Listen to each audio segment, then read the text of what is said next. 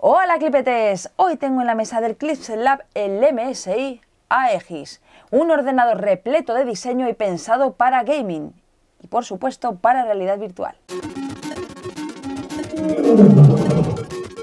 Pues aquí tenemos el MSI Aegis, este equipo pensado para gaming y como os decía, por supuesto, para VR. ¿Por qué para realidad virtual? Pues porque MSI está apostando muy fuerte por ese tipo de tecnología para los videojuegos. Ya hemos visto portátiles que lo integraban y ahora vemos este ordenador que está repleto de diseño.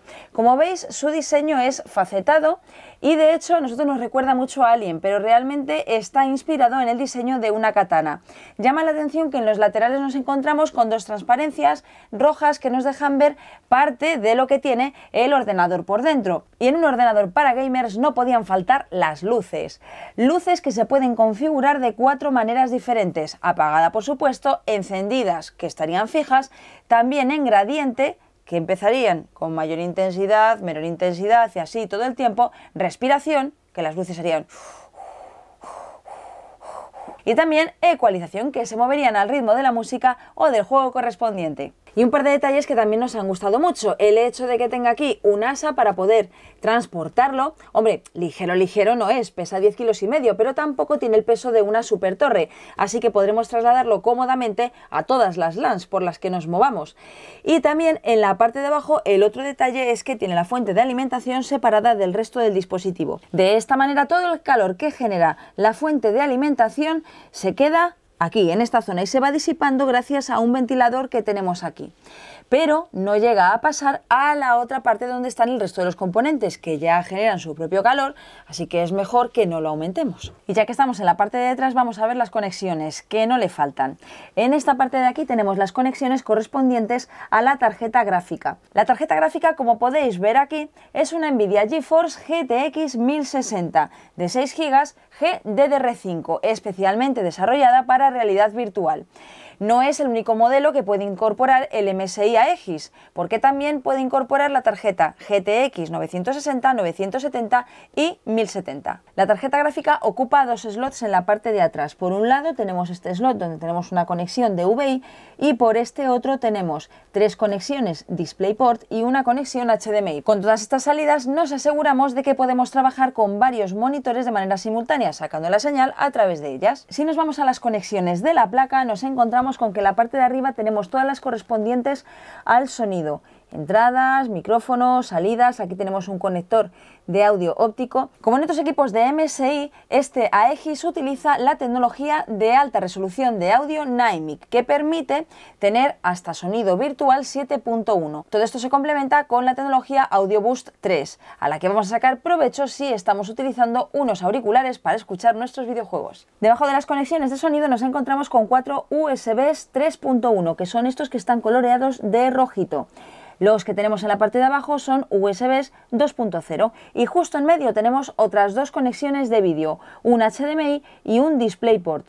En esta parte de aquí tenemos el RJ45, conexión Ethernet, y si nos vamos a esta parte de aquí también en rojito nos encontramos con un puerto PS2, que es un puerto para poder incorporar dispositivos de gaming, como por ejemplo teclados o ratones, vamos, dispositivos de la vieja escuela. Y en la parte frontal lo que nos encontramos es el botón de encendido y apagado, tenemos aquí LEDs de estado, aquí tenemos una entrada de micrófono, salida de auriculares, y si nos vamos al otro lado nos encontramos con dos puertos USB, este de aquí arriba tiene conexión Supercharger 2, vamos, para poder recargar los dispositivos aunque el ordenador esté apagado. Y aquí tenemos un puerto USB tipo C 3.1. Una cosa que os puede resultar interesante saber es que hay un modelo que es el Aegis X que tiene otras configuraciones y otro que es el Aegis TI.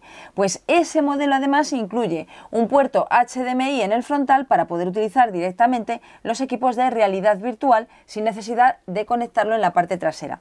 Así que es un poquito más cómodo. Todos estos equipos, tanto el Aegis como el Aegis X como el Aegis TI, se pueden encontrar en diferentes configuraciones, cada uno de ellos y por supuesto con diferentes precios. En concreto este son aproximadamente unos 1.200 euros. Y no me voy de parte del frontal sin enseñaros el Super Multi, que es un Blu-ray que tiene capacidad para leer y también para grabar DVDs.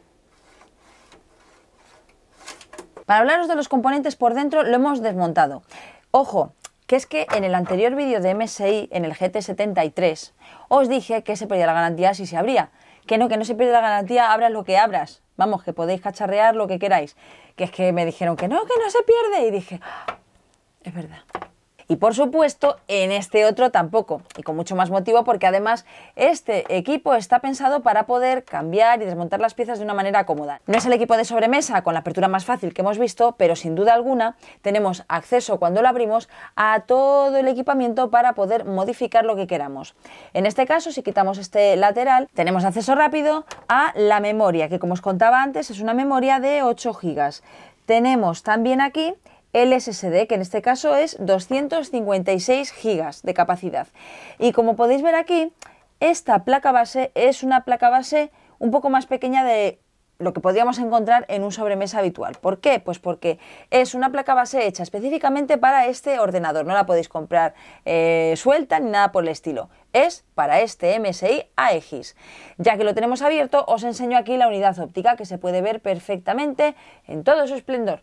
Bueno, tampoco que sea muy bonita, pero se ve. Y bueno, por supuesto, aunque aquí no se ve porque está por el otro lado, tendríamos en esta placa el procesador.